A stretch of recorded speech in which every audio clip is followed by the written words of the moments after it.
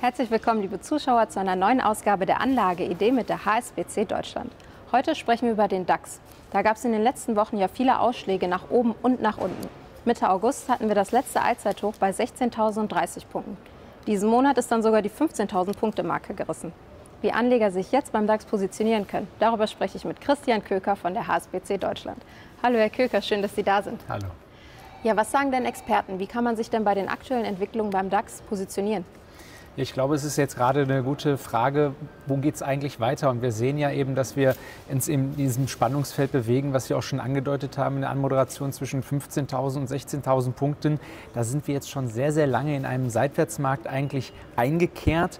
Man, man muss eigentlich sagen, fast unbemerkt, denn die lange Phase der immer weiter steigenden Kurse hat Anleger so ein bisschen auch, sage ich mal, sehr stark beruhigt oder auch sehr zufrieden gestimmt. Aber man merkt eben jetzt, dass das Ganze so ein bisschen wegbröckelt und man sich vielleicht eher darum Gedanken machen muss, hält denn diese 15.000 Punkte Marke noch, als dass es weiter nach oben geht. Und das bedeutet natürlich auch gleichzeitig, dass vielleicht gerade die Bäume nicht mehr in den Himmel wachsen, sondern dass man sich vielleicht überlegen muss, muss ich mir jetzt vielleicht eher mal Gedanken darüber machen, meine Schäfchen ins Trockene zu bringen, die Gewinne, die vielleicht hier auf diesem Weg hierher aufgelaufen sind, zu sichern, als dass ich jetzt vielleicht noch immer weiter nach oben schiele.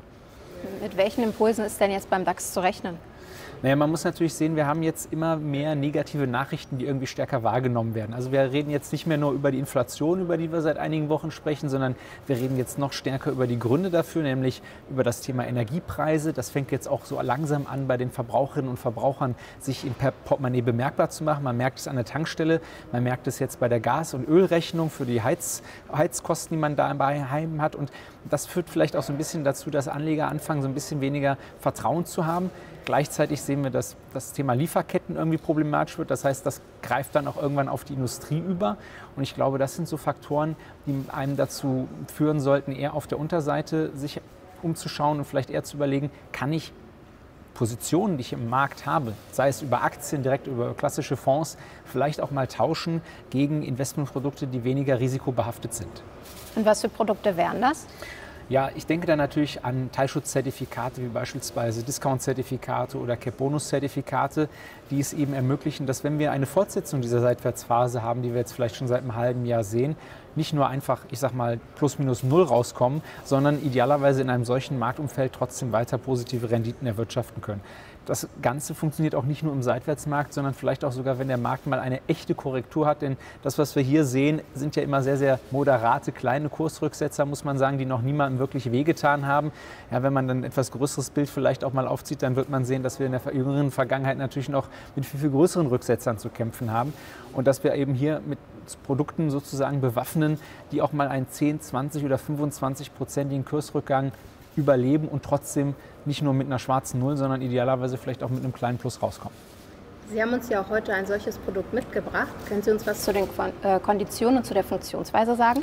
Ja, gerne. Also wir haben hier ein Cap-Bonus-Zertifikat auf den DAX. Also wer, ich sag mal, im deutschen Aktienmarkt investiert ist, könnte jetzt zum Beispiel überlegen zu sagen, diese Position verkaufe ich und ich ersetze die zum Beispiel durch ein solches Cap-Bonus-Zertifikat. Ich habe mich hier bewusst mal in diesem Beispiel für ein Produkt entschieden, was eine überschaubare Laufzeit von einem knappen halben Jahr nur hat, also vielleicht diese Schwächephase jetzt über den Winter zu überwinden. Und wir sehen eben hier, dass dieses Produkt einen Abstand zur Barriere von etwa 28 Prozent hat. Das heißt, Kursverluste des DAXes von bis zu knapp 28 Prozent schluckt, ich sag mal, dieses Produkt im Grunde genommen weg und ermöglicht es, wenn eben dieses Ereignis, dass diese Barriere, die wir hier bei 10.900 Punkten haben, während dieser Laufzeit niemals berührt wird, dann erziele ich mit diesem Produkt eine PA-Rendite von über 5%. Das heißt also, selbst wenn der Markt 20 oder gar 25 Prozent mal korrigieren sollte, das heißt, wir reden über Notierungen unter 12.000 Punkten bis hin zu 10.900 Punkten, dann führt es eben trotzdem dazu, dass ich in fünf Monaten mit einem Plus bei diesem Produkt dastehe. Und das ist natürlich etwas, was jetzt vielleicht, wenn ich unsicher bin, ob diese Rallye weitergeht oder jetzt irgendwann langsam aber sicher versandet, eine gute Möglichkeit ist, vielleicht einfach einen Tausch vorzunehmen. Und wenn man jetzt die Vorteile und Nachteile abwägt, welche Chancen haben Anleger mit dem Produkt und was für Risiken könnten auftreten? Ja, so ein Nachteil ist natürlich erstmal, dass ich auch bei dieser Rendite gekappt bin, wie es der Name des Produktes auch schon vermuten lässt. Das heißt, mehr als die 5,29% PA kann ich da nicht rausholen. Das heißt, wenn wir dann doch wieder auf 16.000 oder 17.000 Punkte steigen sollten, dann hätte ich im Grunde genommen im Nachhinein vielleicht den Tausch bereut. Ähm, gleichzeitig muss ich natürlich sehen, dass wenn dieser Risikopuffer doch aufgezehrt werden sollte, das heißt der DAX unter 10.900 Punkte fällt, dann habe ich natürlich hier auch einen Verlust erlitten, der im Grunde genommen wie dem Direktinvestment zu sehen ist. Also dann habe ich möglicherweise auch 30 Prozent Verlust.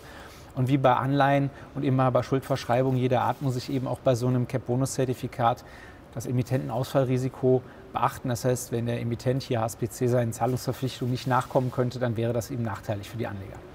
An welchen Anlegertyp richtet sich das Produkt?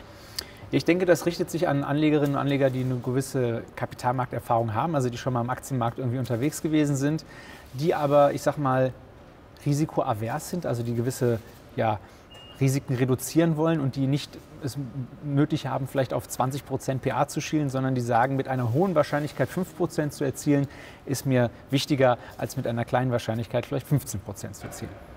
Und wenn unsere äh, Zuschauer jetzt sagen, das Produkt finde ich total interessant, wo kann man dazu weitere Infos finden? Ja, man kann natürlich auf hsbc-zertifikate.de sich mit der Eingabe der WKN auch nochmal genauer informieren und auch die Produktunterlagen an, anschauen oder auch einfach bei uns anrufen, wenn es noch Fragen zu dem Produkt gibt. Ähm, denn das sollte man natürlich immer machen, wenn etwas unklar ist, erstmal noch jemanden konsultieren, der einen dabei helfen kann. Christian Köker, vielen herzlichen Dank. Gerne. Liebe Zuschauer, das war die aktuelle Ausgabe der Anlageidee mit der HSBC Deutschland. Vielen herzlichen Dank für Ihr Interesse und bis zum nächsten Mal.